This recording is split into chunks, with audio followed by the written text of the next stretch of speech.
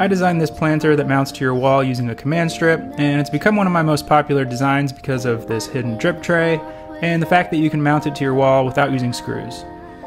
I really like the concept, so I thought I'd design another one. It's a little bit more of a cup shape and the texture is different, but other than that, it's exactly the same. It has the same twist off drip tray that snaps into place, and it has the exact same mounting options as the original.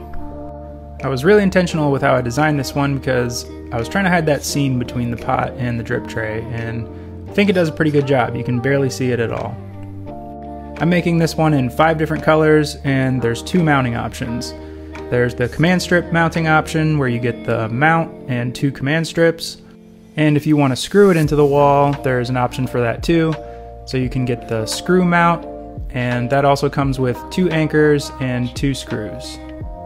This is just the first of a bunch of new designs I'm working on, and I'm excited